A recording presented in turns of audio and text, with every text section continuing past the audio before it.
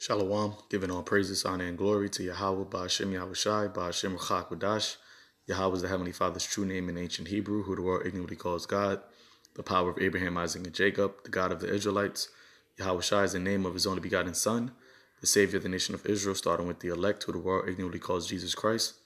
And the Ruchak is the Holy Spirit, which is the Spirit of truth, double honest of the apostles the great millstone, who all learned this truth from. Peace, love, salutations, and blessings to the house of David, which is the elect. So uh, just real quick, want to play this uh, clip. Um, this came from Reuters. Um, it says South Korea mandates QR codes after nightclub uh, coronavirus, out, uh, coronavirus outbreak. So you know now they're you know mandating the um, this uh, device that has to be on your phone. You know, basically going into the contact uh, tracing. You know, and um, as you're going to see in the clip, you can't go into certain uh, areas, you know, certain entertainment spots or you know certain bars or things of that nature unless you have you know, unless you uh, uh, um, you know show show this QR code, okay, and um, you know this you know just goes further into you know the steps towards the uh, mark of the beast, which is the RFID chip, because now things are being mandated, uh, you know that that wasn't there before, okay, in order for you to do certain activities. Um, you know, in in in, uh, in certain uh, reg- uh, in certain um, areas, certain stores, you have to present a um, a QR code. So I'm just gonna play this, and then you know we, we'll get back to it. If you're looking for a night out in South Korea, be prepared to have your cell phone on and ready to go. Starting June 10th, visitors to nightclubs, karaoke bars, and more will have to show a QR identity code of personal information for COVID 19 contact tracing. Karaoke room owner Son Ki Sok explains the customer can install the QR code app and put their personal information on their own smartphone, so it's safe from being leaked and helps prevent coronavirus infection. I very much welcome the adoption of this system across the country. Some Seoul districts are already using QR codes for contact tracing after authorities struggled to find people exposed during an outbreak at nightclubs and bars last month. Despite concerns over using technology to log personal information, residents like 19 year old You hear that? Using technology to log personal information. All right, and this information is going to the uh, federal government.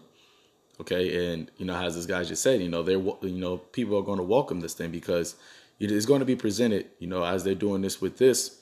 Um, and once again, this is just a step towards the uh, mark of the beast, of course. You know, um, which is going to be a you know globally, but um, you know that uh, uh, it's being presented as something that's going to be beneficial to uh, for the for the people, all right, for the citizens, all right, and they're going to do it to where it is a um, you know requirement. Okay, they're going to fashion society as as the scripture says, He causeth all.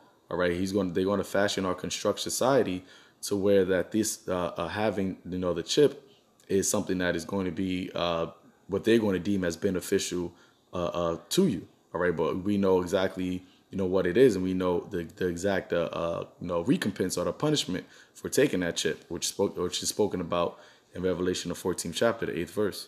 University student Shin No Ah don't seem to mind. This system is very convenient. Regarding the privacy infringement issue, we just give our mobile phone number. It is essential for the government to trace coronavirus cases. We can give our mobile phone numbers to prevent the further spread of coronavirus. According to South Korea's health ministry, personal information will be logged in a government database for four weeks and will then be automatically deleted. Yeah, so you know that's that's where everything's moving towards, man. All all roads, you know, leads to the RFID chip, the mark of the beast. Okay, so let me just you know get the scripture and I'll close it out. It's the book of Revelation, chapter um, 13. You know, and it's June. It's June, so we gonna see. Revelation 13, verse 16, he causeth all, both small and great, rich and poor, free and bond, to receive a mark in their right hand or in their foreheads. Okay, and as you see, everything is becoming digital digitalized. Everything is is uh, uh, you know your information in order to you know uh, a maneuver in society because of the whole coronavirus. All right, they're using that as a ploy to um, you know uh, uh, mandate things that is going to be used uh, mandate things that you are that you need technologically. Okay, and and, and, and as we see, things go more and more towards you know that whole uh, you know AI and uh, um, you know digital and biometrics. You know, it's it's leading right up into this chip, man. All right, and this devil, he's gonna be he's gonna be moving fast because he knows he has but a short time. Verse 17 says, "And no man might buy or sell save he that had the mark or the name of the beast or the number of his name." All right, so you know you can't go like as in, as in South Korea, you can't go to certain um, stores. You know you can't go to bars, you can't go to nightclubs, unless you are you know uh, have this QR code which allows your personal information. All right, so people are going to you know be willingly you know accept that, and especially when it gets to the point where it has to do with things that are essential, like you know uh, food, clothing, shelter. You know they're going to uh, promote and push that being mandated.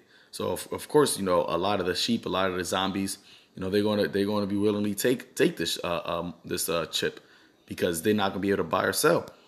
All right, so this is one more scripture. This is the book of Ecclesiasticus, chapter 27, verse 2. It says, As a snail sticketh fast between the joinings of the stones, so doeth sin stick close between buying and selling. All right, and, and buying and selling is what? Is you being able to, you know, uh, conduct business in society, is you being able to be a part of society. So people are going to do what? They're going to sin as it says, sin doeth stick close between buying and selling. They're going to sin, and that sin is what? Taking that chip, all right, taking a mark of the beast, all right, pledging your allegiance to the to the beast so that you can continue to keep buying and selling, man. But that's why, you know, the ones that fear the Lord, Yahweh Bashem Yahushai, you know, we're not gonna we're not gonna succumb ourselves to, to the image of this beast. All right, verse 3 says, Unless a man hold himself diligently in the fear of the Lord, his house shall soon be overthrown. Yeah. All right, because it's only the ones that that that diligently fear the Lord that are not going to stick uh, uh, uh close, you know, uh, to buying and selling. All right, by way of uh, taking that chip and sinning, man. You see, but everybody else that doesn't hold themselves diligently diligently in the fear of the Lord, which you know these heathens, of course, you know, uh, don't fear the Lord. All right, and two thirds of our people, they not they don't fear the Lord. Their house is going to be overthrown, and that house is speaking about themselves. They're going to be overthrown, and they're going to be caught up in that snare, man. That's coming. You know, but you know, I ended there. Just want to bring this out. You know, keep our eyes open as the Lord continues uh, continues to keep working. You know, we got to continue to keep watching. So with that, shalom.